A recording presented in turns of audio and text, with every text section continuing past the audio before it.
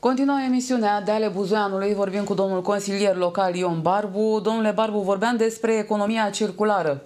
Și îmi spuneați dumneavoastră în pauză că e de fapt o obligație, trebuia să fie de mult Sigur implementată. Că, sigur că da. Am uh, atras atenția încă din luna martie, când RERU a venit cu un, un proiect pentru uh, niște măsuri la nivelul municipiului Buzău, de creșterea preț, a prețurilor la anumite servicii și atunci am, fiindcă se invoca acolo o legislație europeană, m-am dus la legislația europeană să văd de fapt despre ce era vorba în legislația europeană când uh, se folosea în textul rerului și uh, economia circulară. Economia circulară, atunci am înțeles din legislația europeană că de fapt înseamnă găsirea Ă, stabilirea unor regulamente și planuri de măsuri la nivelul fiecărei entități, la nivelul fiecărei primării, prin care să ă, se uh, identifice, să se stabilească depozite specializate pentru tipurile de materiale reciclabile.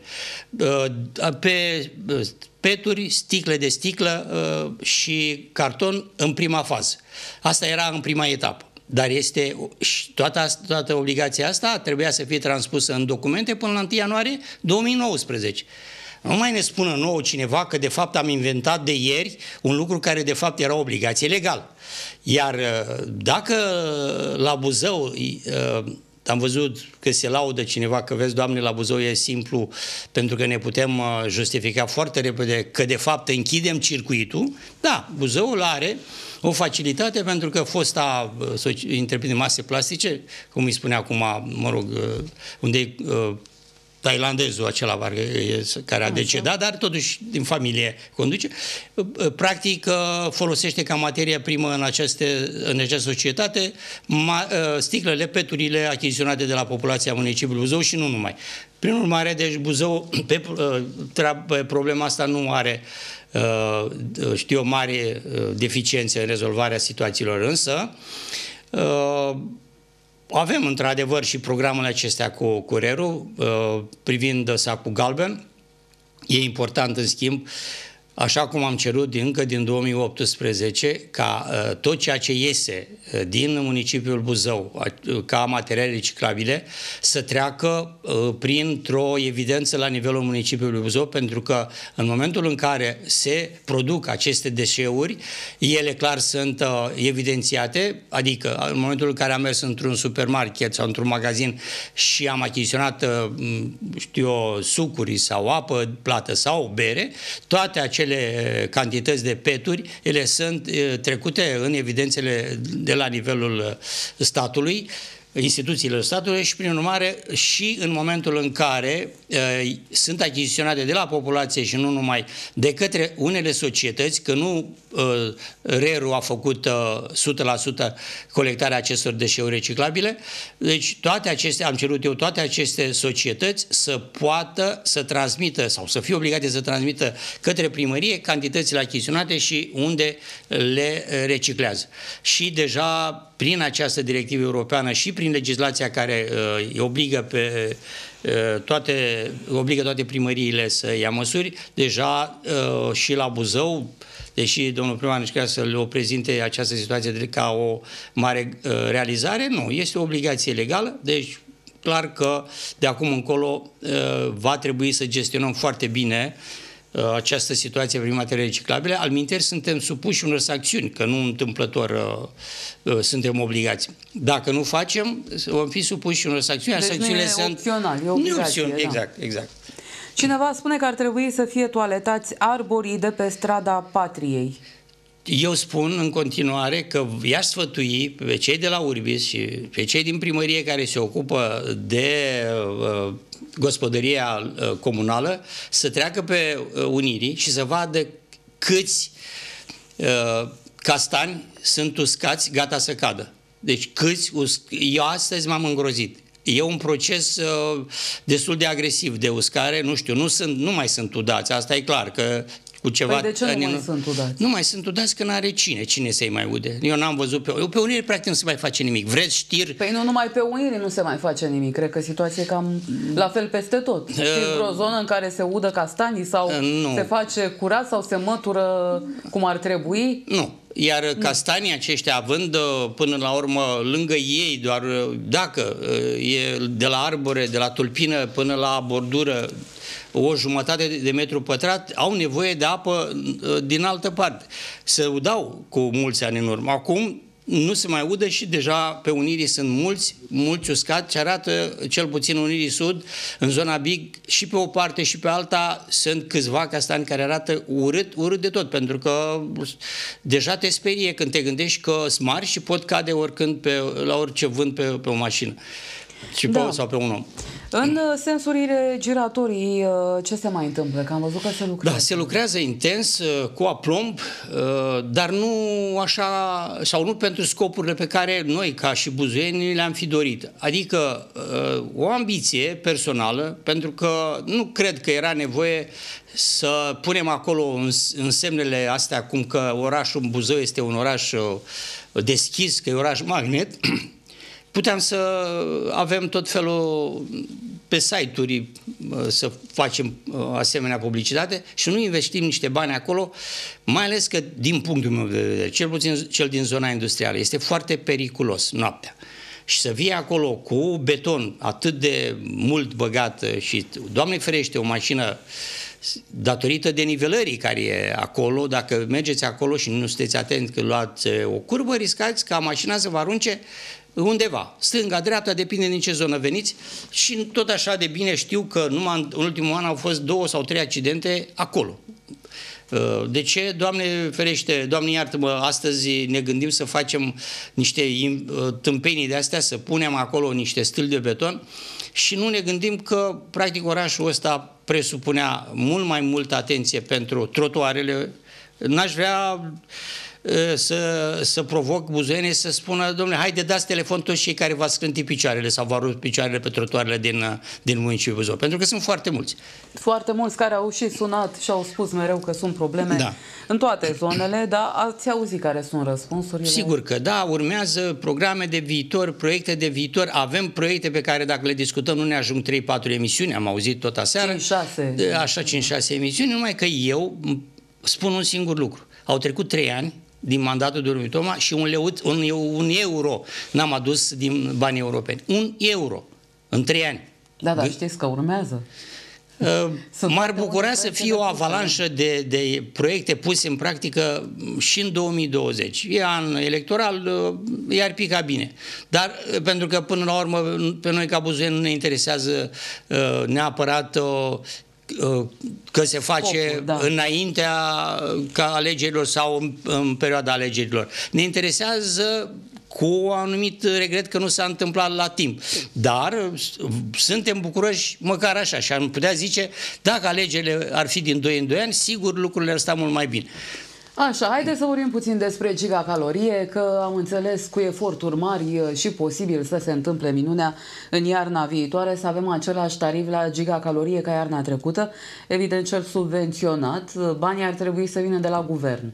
Ce speranțe aveți din acest punct de vedere? Cât sunteți de optimist? Cred că n-am fost atent când a răspuns domnul Tomal la răspunsul pe care dumneavoastră văd că îl dați acum, uh, pentru că eu am înțeles altfel. Nu, la întrebarea dumneavoastră că o să facă efort, dar nu promite nimic.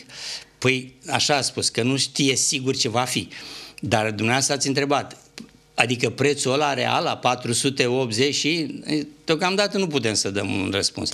E, nu pot uh, să las, cel puțin eu, ca și cetățeanul municipiului Buzău și care sunt și consilier local, vin la televiziune, mai spun punctul de vedere, să las așa în neantă uh, tot ceea ce s-a spus ieri și mai degrabă aș atrage atenția celor care au mai rămas la sistemul centralizat, 2, 3, 5, 10, 20 din 40 într-un bloc, să se gândească foarte serios că la iarnă riscă să aibă niște facturi pe care să nu le poată plăti nici măcar cu pensii de 2000 de lei sau cu salariu de 2000 de lei. Deci situația nu e deloc uh, bună. Am văzut de fapt că viitorul nu sună bine din punct de vedere al domnului Toma pentru societatea asta. Găselnițele acestea cu centrale de cartier sunt uh, lucruri care pe mine m-au făcut atunci să, să râd amarnic uh, când directorul spunea că le, le, poate, le poate pune în funcțiune vechile centrale termice din uh, punctele termice. Păi să mă ierte Dumnezeu, în primul rând în anii 90 când acestea au funcționat, au funcționat cu apă nededurizată, și prin urmare toate depunerile de acolo acum s-au transformat aproape în metal. Deci ca să uh, faci o, să pui în funcțiune din nou un cazan din ăla de apă fierbinte, trebuie să-l înlocuiești. E doar clădirea. În rest, toate instalațiile trebuie înlocuite. Când? Cu ce bani? 20 uh, de milioane și euro. Când?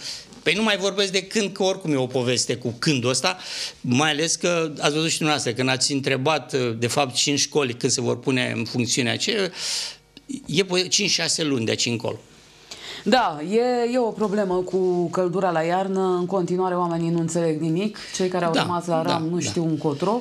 Dar mai așteptăm informații, cu toate Eu, că vin da. așa haotice. Eu ce fac uh, în momentul ăsta? Uh, port discuții cu toți cei care sunt în asociația pe, pe care eu o conduc și uh, unde sunt probleme mari și unde știu că oamenii nu înțeleg pentru că nu au urmărit la televizor, am discutat personal, i-am îndrumat să se ducă la asistență socială să și, și, și ajut personal să și finalizeze dosarele. În continuare, cu toate că domnul primar șaseară spunea că ramul nu mai e o piedică. Este o piedică ramul. Toți cei care se duc acolo găsesc o persoană, nu aceeași mereu, care îi bulversează pur și simplu, cu tot felul de hârtii care mai trebuie, vezi, doamne, la dosarul ăla.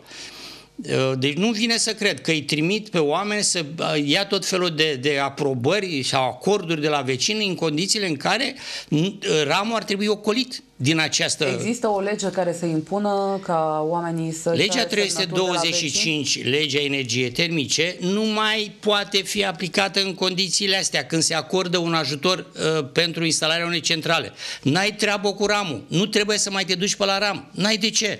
Se acordă un ajutor de 7000 de lei și deja va tipărit 400, 700 de, de nu știu cât de pliante din alea, da. pentru că și acolo e o chestiune care te obligă să mergi la ram. Ce să cauți la ram? Nu, asistența socială împreună cu primăria să întocmească dosarul așa cum trebuie, iar de acolo de la, să, să, facă, să facă dovada că a făcut un contract cu o firmă. Atâta tot. Nu trebuie să mai meargă la RAM să spună, domnule, știți ceva, trebuie să vină cineva să constate că, de fapt, tu ai intenția să te debranșezi sau vrei să, sau te-ai debranșat deja. Să te aduci copie după nu știu ce acte ramului. Nu, ramul, de fapt, pe bună dreptate ă, încearcă să pună piedici, să rămână cât mai mulți abonați la acest sistem încă un număr de ani, ca această societate să funcționeze. Deci eu asta l-am sfătuit și în ședința de Consiliu Local, să evite ramul în, în acest sistem pentru acordarea acelor ajutoare. Mai avem pe cineva la telefon. Bună seara, vă ascultăm. Bună seara. Aș avea o întrebare către domnul Barbu. Vă rog. Uh, noi am avut doi, uh, două familii care nu au fost branșate la gen termic. Acum uh, s-a branșat, se, bran- se debranșează astea două familii. Cine are obligația să ne pui blinduri la, robine, la vanele de intrare în bloc? Normal ramul. Ramul, nu normal. Sigur ramul. Trebuie uh, făcut o adresă, dacă nu înțeleg ei doar prin comunicare, o adresă către regie. Dacă sunt, faceți parte dintr-o asociație de proprietari, cei care conduc asociația să facă această adresă și să solicite ramului să-și ia de acolo aparatele, dacă le au, și să blindeze uh, țevile. Aparate, uh, mă mai auziți? Da, sigur. Da. Uh, aparatele nu mai sunt la noi, că noi apa caldă o aveam așa și mai era, uh, cred că aparatul de gigacalorie, care gigacalorimetru care măsura da, da, da. Uh, consumul de gigacalorie. Exact, exact. Acum, dacă s-a debranșat uh, persoanele respective, unul și-a băgat centrală, celălalt urmează, dar problema este că uh, cine pune blinduri, că ăștia și-au venit fiecare și-au asupat uh, și-a pus dopuri la uh, intrări și ieșiri. În, deci, vă repet încă o dată, regia autonomă municipală va blinda acces, acolo vanele la intrarea în bloc. Deci obligația lor. E obligația lor, fără discuție. Mulțumesc, seara bună. Seară frumoasă, la revedere. Mai întreabă un telespectator, uh, vă întreabă dacă dumneavoastră garantați că Distrigaz poate să asigure gaze pentru toți consumatorii, că nu va scădea presiunea astfel încât toți să avem gaze De ce nu întrebați oficial acolo, spune, adică la Disterigat? Nu-i nevoie să întrebăm. Zona noastră nu are probleme cu asigurarea presiunii la gaz. Sunt doar niște lucruri care țin de raportul, relația dintre guvern și aceste societăți de furnizare a gazelor, pentru că s-a plafonat prețul gazului. Aceste societăți încearcă să preseze guvernul pentru a lăsa liber prețul ca să poată să facă investiții, zic dumnealor. Vom vedea ce va fi, dar ca și uh, cantitate de gaze necesare Buzăului, gândiți-vă că mari consumatori de gaz din municipiul Buzău nu mai sunt. Era Geromul, care folosea pe partea de producerea sticlei de sticlă cantități în cuptoarele foarte mari uh, de, de, de gaz. Era dincolo la ductil, erau cuptoare și nu unul, erau mai multe care tot așa consumau cantități foarte mari. Toată zona industrială practic merge acum, deși auzeam aseară că de, am avut niște întâlniri, că în zona industrială, cu, nu mai e nimic, domnule. Sunt câteva societăți din industria, să zic așa, asta alimentară, adică zahărul, uleiul, care mai funcționează, în rest, temirce și mai nimic. Ei nu mai sunt consumatori de gaz în municipiul Buzău care să, eu, să creeze o problemă o populație. Măcar de ar uh, fi toată lumea mulțumită de prețul gazului la iarnă, să poată să-și instaleze cu toți centrale de, uh, proprii de apartament, să nu mai uh, fie degringolada asta permanentă și vă asigur eu că nu vor fi probleme cu presiunea gazului. Mai avem pe cineva la telefon. Bună seara, vă ascultăm, vă rog. Să trăiți, domnul Barbu. Domnul Barbu, vreau și să vă întreb. Dacă eu îmi pun centrală pe proprii bani, cât, uh, cum trebuie să uh, chem uh, ramul să, să mă scoată de la, de la căldură sau să o fac după aia, după ce îmi pun centrală. În ce zonă locuiți și dacă plătiți căldura direct la RAM? Uh, Unirii. Și plătiți la RAM direct? Nu, la asociație. Perfect. E simplu. Mergeți după ce ați instalat uh, centrala, mergeți da. acolo cu copie după factura de că ați achiziționat o centrală, cu copia după uh, procesul verbal de ieșirizare și cu ce eventual, dacă mai e nevoie, dar uh, clar că ar fi o aberație să mai cere acordul vecinilor acum, pentru că oricum sunt majoritari cei care au centrale și nu se mai pune problema, cam astea, de un dosar făcut la astea dacă nu există contractul dumneavoastră de la casă, dar ar trebui să existe la asociație și contractul de furnizare a gazelor, dar nu poți să pui centrală până la urmă într-un apartament dacă nu are contract la gaze. Deci lucrurile s-ar bate cap în cap. Dar da, sunt deci unii după care... ce pune centrala, merge și anunțați. Anunțați asociația cu ce ați făcut acolo. Da, deocamdată cei, cei din vecinilor mei și-au pus toți, n-au mai, n-au mai întrebat ramul, n-au mai întrebat pe nimeni. Da, de acord, dar trebuie să, să transmiteți mai departe situația prin asociația de proprietari, pentru că la iarnă, sigur, ramul vă pun la plată dacă nu uh, transmiteți mai departe datele că, și, cont- și dosarele. Am înțeles, mulțumesc. Dar prin asociație, nu vă duceți că dacă ajungeți la RAM... Vă... Bună termin. seară, bună! Ideea e că ramul nu are cum să-i pedepsească pe cei Clar care nu. se debranșează, și pun centrală și anunță apoi regia, Bine dar trebuie anunțat. Exact, așa și scrie în legea 325. Trebuie anunțați că ți-ai găsit o altă sursă de încălzire. Nu trebuie să le ceri înainte acordul să-ți dea voie. Sunteți de acord cu proiectul acesta pe care în ședința următoare îl veți avea pe masă referitor la 3500 de lei pentru cei cu venituri mai mari? Știți destul de bine că nici cu celălalt uh, proiect nu am fost de acord, uh, adică să dăm 7000 de lei fără ca acești bani să se mai întoarcă în bugetul primăriei. Bineînțeles că și de data asta ne vom abține, nu pentru că avem ceva împotrivă, Doamne ferește să se ajute uh, populația care e în nevoie, ci mai degrabă modalitatea prin care se face acest lucru și v-am spus și repet ce am spus mereu, uh, nu e deloc moral uh, ca astăzi să dăm posibilitatea uh, din motive care nu țin neapărat de cetățeni, ci țin mai degrabă de o ambiție a cuiva. Deci nu e normal să dai anul ăsta 7.000 de lei cuiva să pună centrală, iar altul anul trecut cu aceeași pensie, din alte motive, a fost obligat să-și facă împrumuturi în bancă sau la CRO pensionară sau nu mai știu și unde. mai plătește. Și mai e ceva anul ăsta, din dacă uh, cei guvernanții se țin de cuvânt, în toamnă se va mări din nou pensia, da? Bun, dacă anul ăsta, la momentul ăsta, cineva se încadrează, depune dosarul, iar până la finalizarea uh, instalării centrale, deja pensia uh, sau venitul lui a crescut peste limita de ajutor, ce se întâmplă? Îi oprește lucrarea? Nu, e, va veni, nu se va încălca o hotărâre de Consiliu Local? Deci e o chestiune care uh, eu cel puțin uh, nu, nu, nu deci înțeleg. trebuia gândită. Probabil că o să ridicați problema asta o să ridic, și sigur că de da. Consiliu. Sunt curioasă ce răspunsuri veți primi. Mai avem pe cineva la telefon. Bună seara! Bună seara! Vă rog. Uh, domnul Barbu, uh, mă auziți? Da, da, da. Uh, sunt într-un bloc cu patru etaje care nu are nimeni centrală la ora actuală. Eu, uh, când s-a făcut uh, instalarea contoarelor de gaz pe scară, uh, am fost un pic inspirat și mi-am montat două focuri, unul pentru Aragaz și unul pentru viitoarea centrală acum câțiva ani de zile. Deci nu este nimeni cu centrală în bloc, pe scara respectivă. În ce zonă? Uh, micro 14. Păi dumneavoastră veți fi favorizați după părerea mea și nu numai a mea. Ați văzut că și primarul, dacă ați urmărit aseară, micro 14 ar trebui să rămână o zonă favorizată unde ramul ar trebui uh, să uh, păstreze prețul ăla care era în anii din urmă. Bun, dar vreți să vă puneți centrală. Ce rost ar avea?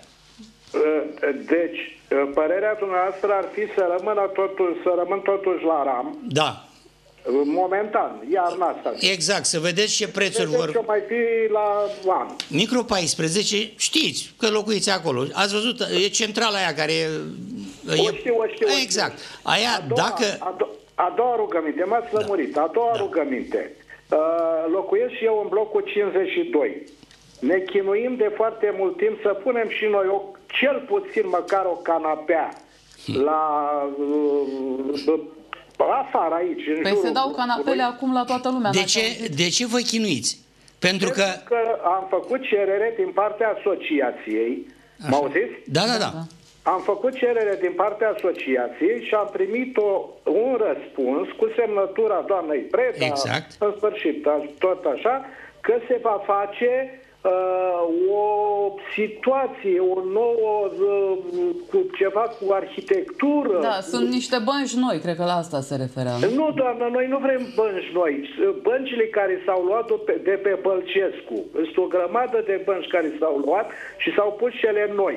Să ne aducă și o canapea două aici, că blocul Haideți- 52, aproape numai pensionar să. Blocul Deci- 52. Vis-a-vis de- Dumneavoastră știți ce să faceți? Vă încerc scuze că vă...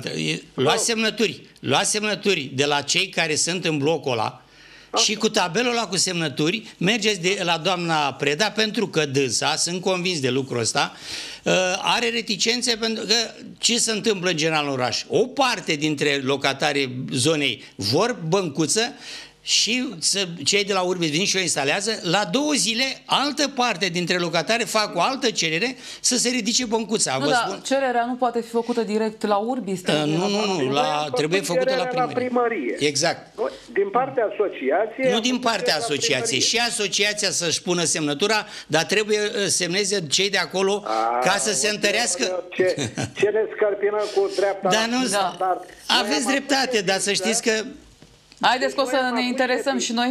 Știam că e Domnul mult mai Barbu. simplă procedura, Noi am cereați o avut bancă și ședință, venea. Am avut ședință pe bloc așa, foarte bine. și to- toată lumea a fost de acord Perfect. că canapele. Acum mă duc să le iau. Nu, nu, nu, e clar că e suficient așa. Ia să vedeți ce repede vine canapeaua acum. Da, dacă e tot suficient, ați dar spus. mergeți Blocul și spuneți. 52, da? Dumnezeu Să vină, să dea Dumnezeu. Să rămână, mulțumesc. Seară frumoasă, blocul 52, Da, micro 14. Micro 14. Ideea e că să știți că ceea ce am spus mai devreme este adevărat. Unii vor, iar alții după aia se duc solicită să ridice și deja doamna Preda nu mai știe de fapt unde ar trebui să se poziționeze. Da, De asta partea pentru cui. că sunt aceleași grupuri de tineri care mai stau până la ore târzii. Poliția locală s- seara, noaptea nu Noi- prea mai uh, există. Da, da. Păi nu Am există. înțeles că sunt niște dube, trei în oraș. Spunea domnul primar. Depinde dacă trei. Știu că era numai una. Da. Domnule Barbu, cum se va calcula căldura în sistem centralizat pentru cei fără nicio sursă de încălzire? Căldura în sistem centralizat Păi ca și până acum. Ideea e doar uh, una, uh, ca să încercăm, să se încerce de, din partea primăriei în iarna care vine prețul gigacaloriei să fie nu cel real, ci cel care uh, a fost subvenționat, pentru că mi-e greu să cred că acele cantități care vor reveni fiecărui apartament vor fi la fel ca în iarna anterioară. Vor fi mult mai mari, iar ramul sigur nu va putea face față la numărul mic de abonați care vor mai rămâne la sistem. Spune iar ramul că... n-a luat nici o măsură. Vă spun că au rămas tot același, nu, a rămas 200 de angajați în condițiile în care ei mai, știu, mai au nevoie, poate, după părerea mea, dacă de 100, nici de 100. Dar continuă mesajul și spune, vorbim despre pereții comuni prin care trece căldura de la vecini. E, asta trebuie să demonstreze cineva câte căldură, că în rest de alte povești, cum era domnul director de dinainte, că transferul se face și de partea și din partea elaltă, păi fiecare are dreptate. Cel cu centrală are dreptate în luna septembrie, octombrie, când dacă e frig afară, el trebuie să dea drumul la centrală Dar și încălzește și perețele. Căldura, da? Așa, și ramul are oprită căldura. De asemenea, în luna aprilie, cel care a închis centrala beneficiază de, la, de căldura din pereții vecinului, că ramul nu închide căldura căldura, că vrea să mai factureze încă o lună și o lasă la parametri cât mai mari, deci e greu. Iar la bloc e cu atât mai greu să gestionezi lucrurile în așa fel încât toată lumea să fie mulțumită.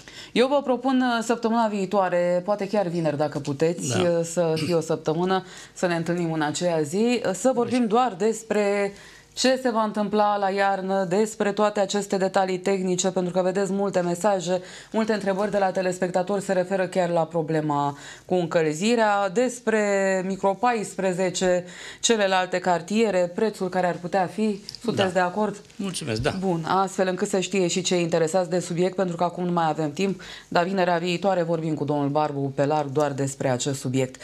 Vă mulțumesc, domnule Barbu, pentru prezență și pentru că le-ați răspuns telespectatorii lucrătorilor, să duceți mai departe vestea da, că sunt probleme în Buzău. Asta o fac mereu, știți lucrul ăsta. Da, și vă aștept vinerea viitoare. Vă mulțumesc și dumneavoastră pentru că ați intervenit și pentru că ne-ați urmărit. O seară frumoasă și un weekend plăcut. La revedere!